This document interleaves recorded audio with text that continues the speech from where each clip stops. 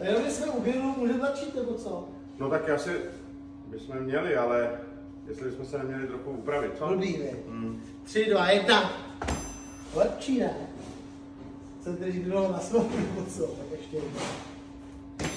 No, teď jsme sladěný. Konečně. Takže jsem grilovat. Já vidím, že tady máš něco pod tou utěrkou. Můžu? Můžeš, Tak musíš. beru celý. No jasně. Ale proč je to v té utěrce?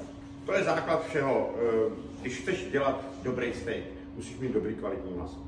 A když chceš dělat dobrý kvalitní maso, tak to kvalitní maso musí lehce se ohřát.